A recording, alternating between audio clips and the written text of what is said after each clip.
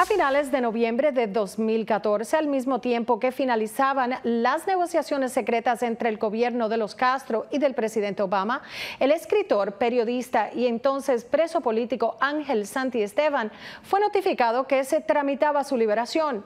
El viernes en la noche, días antes de la apertura de las embajadas, salió de la cárcel y desde su casa habló con nosotros.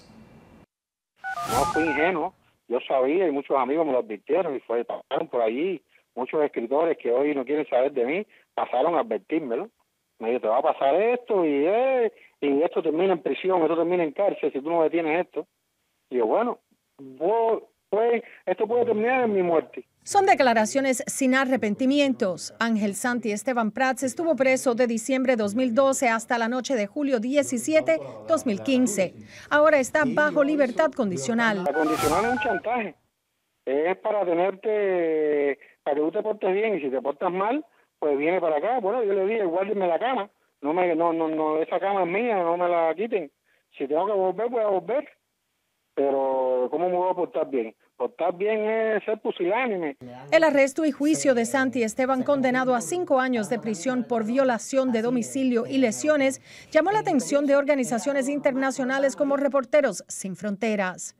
Desde 2008 publicaba su blog activista Los hijos que nadie quiso, precisamente a favor de los derechos humanos en la isla, labor que asegura continuará. En un momento crucial para, para la libertad de expresión, para la libertad de, de, unirnos, de, saber eh, qué pedir, qué exigir por cada uno de nuestros derechos. A pesar de su encarcelamiento, el escritor está al día con el acontecer mundial. A pesar de, esta eh, reapertura las embajadas, eh, que esto se le, se le puede a ellos mismos virar, porque ellos no saben jugar a la democracia. Ellos, ellos quieren fingir que van a jugar a la democracia pero, pero en definitiva lo que, lo que hacen, lo que provocan es demostrar lo contrario.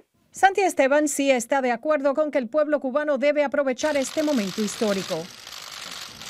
El escritor que ha recibido importantes galardones literarios como el Premio Casa de las Américas y el Premio La Novela de Gaveta Franz Kafka asegura que lo más importante y urgente que podía haber ejercido en su vida fue tener la convicción que le costó la libertad.